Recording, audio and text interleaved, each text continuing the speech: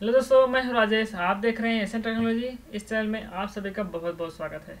Last class में हमने पढ़ा था कि स्टेप आर्गूमेंट किस तरीके से काम करता है। अब आज हम स्टेप आर्गूमेंट का ही यूज़ करेंगे, लेकिन हम क्या करेंगे कि यूज़र से इनपुट लेंगे उसका नाम, या उसका एड्रेस, या जो आप चाहो यूज़र से इनपुट ले लो। और उसका नाम जो है ना, उसका नाम रिवर्स से प्रिंट करवा दो। या मतलब बैक साइड से प्रिंट करवा दो। या आप उसके नाम का कुछ कैरेक्टर्स आप प्रिंट करवा दो। चलिए शुरू करते हैं। मैं फ़ाइल बनाता हूँ। फ़ाइल का नाम क्या लिख दूँ? यूज़र इनपुट स्ट्रिंग है ना? एस टी लिखता हूँ। आसानी रहेगा समझने में भी। ये आ गया। चलिए मैं इसको ओपन कर लेता हूँ यहाँ पे। यूज़र एस टी कहाँ? यहाँ पे है। और इसको ओपन कर लिया। ये यहाँ पे आ गया। तो हम क्या करने वाले हैं? आज यूज़र से इनपुट लेंगे, है ना? इनपुट फ्रॉम यूज़र और उसके नाम के साथ हम क्या करेंगे? स्टेप आर्गूमेंट भी यूज़ करेंगे और सेलेसिंग भी यूज़ करेंगे उसके साथ, उसके जो इनपुट करेगा यूज़र उसके नेम के साथ हम सेलेसिंग भी करेंगे और स्टेप आर्गूमेंट भी यूज़ करेंगे। यानी कि उसका नाम जो है ना बैक साइड में प्रिंट करवाएँगे और उसके नाम का कुछ कैरेक्टर भी प्रिंट करवाएँगे। तो चलिए देखते हैं। तो मैंने यूज़र से कहा कि भाई अब तो अपना नाम दे दे। तो ये इनपुट करेगा यूज़र नाम अपना। हो गया? अब यूज़र यहाँ पे नाम इनपुट करने जा रहा है तो क्या बोलेंगे उसको?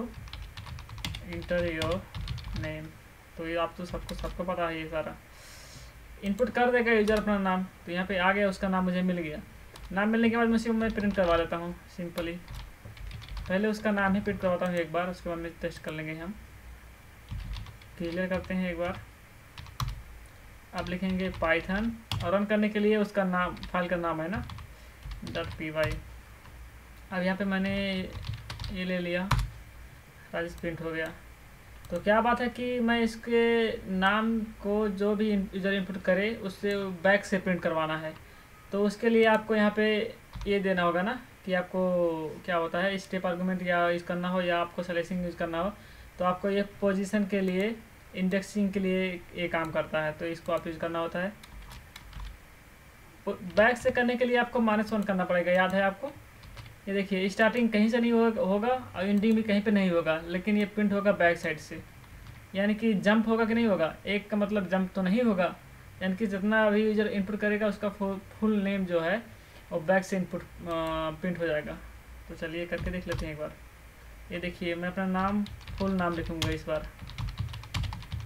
और सबको बैक से करवाते हैं, ये देखो। सही है ना? और मज़ा आ गया देखने में भी? तो क्या बात है कि अगर यूज़र से ए करवा लिया जाए तो क्या है कि अगर मैंने यूज़र से कहा कि भाई तो एक जंप करके प्रिंट कर दे, यानी कि एक जंप करवाने के लिए आपको कितना लिखना होता है यहाँ पे? टू लिखना होता है कि एक जंप कर और एक प्रिंट कर। तो चल को से, चलिए देखते हैं मैं सेम वही करता हूँ फिर दोबारा से। राजेश, कुमार, यादव। तो चलिए मैं यहाँ पे इंटर करता हूँ। ये देखिए। सबको प्रिंट करेगा, लेकिन एक को जम कर देगा। जैसे कि एग्जांपल के लिए अब इसमें से शुरू करेगा। देखिए, पहले प्रिंट का करेगा वाई को, कर दिया यहाँ पे। अब ए को जम कर दिया। फिर फिर प्रिंट किया डी को। यहाँ पे देखिए डी आ गया। फिर ए को प्रिंट कर जम कर दिया। फिर प्रिंट किया वाई को। वाई आ गया। फिर ये जो स्पेस बीच में है ना, इसको जम कर दिया। फिर प्रिंट किया आर को। फिर ए को जंप कर दिया। मतलब सबको ऐसे करते करते यहाँ तक जाएगा लास्ट तक। तो मुझे उम्मीद है आपको ये भी समझ आ गया होगा कि किस तरीके से करवा सकते हैं। तो चलिए देखते हैं कि यूज़र का कुछ नाम कैसे प्रिंट करवा सकते हैं, अगर हम स्टेप आर्गूमेंट यूज़ करके। तो चलिए क्या करेंगे ना यूज़र कुछ इनपुट करेगा, उसका नाम शुरू से मतलब ज़ीरो से लेंगे और कहाँ तक जाएँगे? जहाँ तक यूज़र इनपुट करेगा, जितना भी इनपुट करेगा। चलिए मैं कहता हूँ, ले लेता हूँ यहाँ पे टेन यानी कि यूज़र का नाम तो टेन कैरेक्टर के अंदर ही पड़ेगा। लेकिन जो जंप करने वाला बात है ना यहाँ पे टू लिखेंगे। अब टू लिखने का मतलब क्या होता है कि जंप करेगा, लेकिन ये आगे से जंप करेगा, है ना? पीछे से जंप नहीं करेगा, क्योंकि यहाँ पे प्लस है। तो चलिए देखते हैं। अब मैं यहाँ पे इनपुट करता हूँ, राजेश। तो देखिए आउटपुट क्या आना चाहिए? पहला प्रिंट हो जाए, फिर टू का मतलब वन जंप हो जाए। जंप हो जाए, फिर प्रिंट हो जाए, फिर जंप हो जाए। चलिए देखते हैं। ये देखिए, पहला प्रिंट हुआ, फिर जंप हो गया प्रिंट हुआ। जंप हो गया प्रिंट हुआ, जंप हो गया। तो कितना बार हुआ? आर एक हो गया ए प्रिंट हो गया, जंप हो गया, फिर प्रिंट हो गया जे फिर ये जंप हो जंप हो गया, फिर प्रिंट हुआ यस फिर यस जंप हो गया। तो कितना आसान है ना कि यूज़र से इनपुट लेके उसका आप जो चाहो उसके नाम के साथ आप अपने तरीके से आप खेल सकते हो, अपने तरीके से आप उसे, उसके साथ, उसके नाम के साथ इंजॉय कर सकते हो। तो मुझे उम्मीद है वीडियो भी आपको बहुत पसंद आएगा।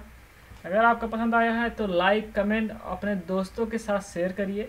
क्योंकि नॉलेज जो होता है ना, हमें अपने लिए नहीं, औरों के लिए गेन करना होता है। औरों के लिए हमें सीखना होता है। क्योंकि मैं जो सीखूं, औरों को सिखा सकूँ, ताकि ये थोड़ा सबको डेवलप कर सकें। तो मुझे उम्मीद है आपको पसंद आएगा और आप अपने दोस्तों के साथ शेयर भी करेंगे। अगर कोई भी, थोड़ा सा भी अगर आपको दिक्कत लगती है, कहीं पे भी तो मुझे पर्सनली आप ईमेल कर सकते हैं इस ईमेल पे I T technology two zero two eight the rate Gmail dot com या आपको कुछ भी पूछना हो या आपको कुछ भी जानना हो तो आप इस पे ईमेल कर सकते हैं। या फिर आप मेरे फेसबुक पे आप मुझे कांटेक्ट कर सकते हैं। मेरे फेसबुक आईडी आपको पता भी होगा शायद कि अगर पता नहीं है तो आप मुझे ईमेल करिए, मैं आपको फेसबुक आईडी दूँगा। तो चलिए मिलते हैं नेक्स्ट वीडियो में। कुछ नया करेंगे नेक्स्ट वीडियो में। नेक्स्ट वीडियो में साथ हम पढ़ेंगे स्ट्रिंग में स्ट्रिंग में मेथड किस तरीके से काम करता है, यानी कि स्ट्रिंग मेथड तो चलिए मिलते हैं नेक्स्ट वीडियो में। टेटून गुड बाय